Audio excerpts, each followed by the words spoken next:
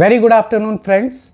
It is 1st March today and in the month of March you would be planning to close your books of accounts.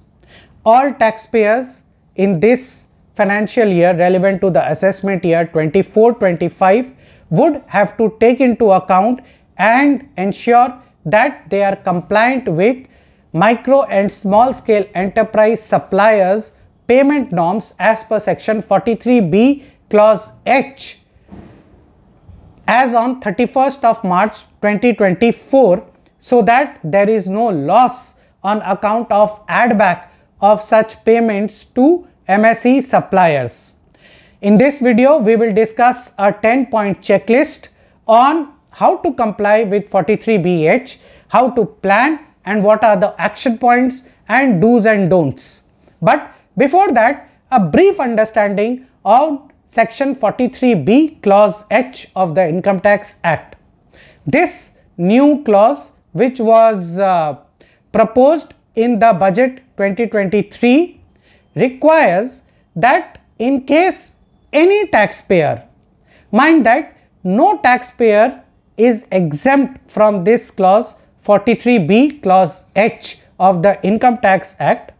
So, this clause requires that any taxpayer who is calculating profits and gains of business or profession would get the deduction of payment to micro and small scale enterprises as per the requirements of section 15 of the MSME Development Act 2006. Section 15 of the MSME Development Act 2006 requires that in case there is a contract with the micro or small scale enterprise. In such case, the due date of payment would be 45 days from the date we would discuss what is this date from which 45 days would be calculated or an earlier date if there is a contract in writing. If there is no contract in writing, then the due date would be 15 days.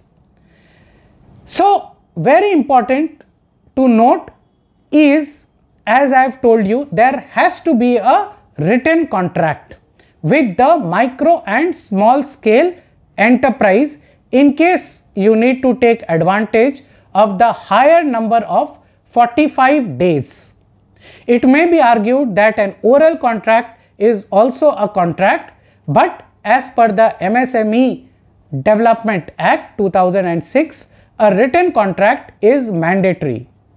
Second, it is very important that you send a letter to all your vendors to confirm and to provide you their Udyam portal registration certificates. It may be argued that the vendors are required to provide the MSME numbers and category on their bills or purchase orders or letters or communications but it is always a best practice to ask your vendors for the Udyam portal registration certificate. From such certificate you would find out in case the MSE vendor is a trader or not. Mind that 43BH is applicable only to service providers and manufacturers. It is not applicable in case you are buying goods or services from a trader. Next 43B clause H violation and requirement is applicable only for small and micro enterprises not for medium scale enterprises. What is micro, small and medium scale enterprises you would get to know as per the office memorandum under the MSME Act in 2021. Important to note again is that such clause H of 43B is applicable only in case of purchase of goods or services. It is not applicable in case you are purchasing an item which is required to be capitalized in your books of accounts. Certain arguments are there that in case of capex items, the depreciation would be disallowed. that has been ruled out by the Honorable Apex Court in many earlier similar judgments which ratio can be applied to clause H under section 43B also. Therefore, if you are making a payment to a micro or small scale enterprise for items which you are capitalizing in your books of accounts, then the payment can be made even after the due date as per section 15 of the MSME Development Act 2006. Now, a very important question which you must look into is this 15 days or 45 days is calculated from the date of the acceptance or deemed accept acceptance of the goods or services. It is not from the date of the invoice. In case within these 15 days or 45 days as the case may be, you as a recipient or buyer raise an objection on the goods or services, then the 15 days, 45 days or such other date will be calculated from the date when the supplier resolves such objection.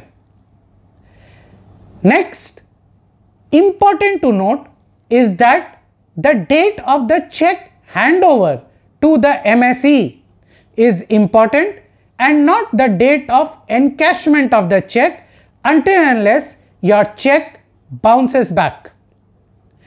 When we are talking about deduction on a payment basis, it is important to note two things. First is that if you are making a payment to the MSE in financial year 23-24, although the accrual is in 24-25 also, then the deduction would be eligible on this advance payment to the micro and small scale enterprise also.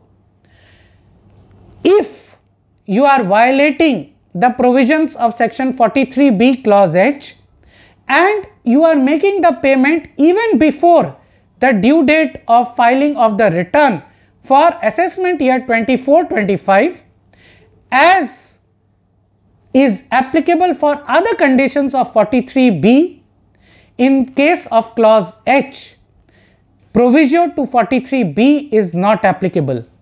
In simple terms even if you are making the payment before the due date of filing of the return for assessment year 24-25 but you have violated clause H of 43b then the deduction for the payment would be eligible to you only in the next assessment year 25-26 not in this assessment year 24-25.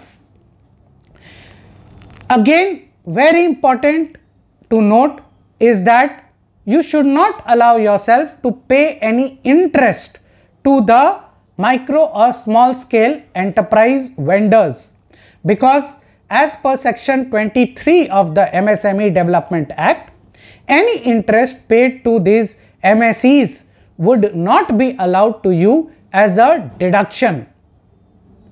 And last, if even after all these planning action points, you falter to comply with clause H of section 43B, then you need to see in case you are making a payment under the MAT or the AMT regime or you opt for a presumptive scheme under section 44 AD, ADA, AE etc.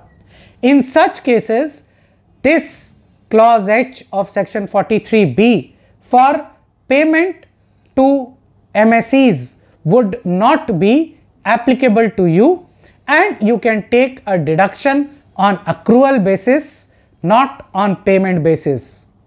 So friends this very important provision is important to implement with immediate effect in the month of March 2024 and you should see that you do not lose out on money when you are filing the return for a non-compliance with clause H of 43B. Mind that your tax auditors would require to report on this clause H of section 43B in their tax audit reports. Thank you very much for listening. Do like, share and subscribe to this channel. Stay tuned. Thank you very much.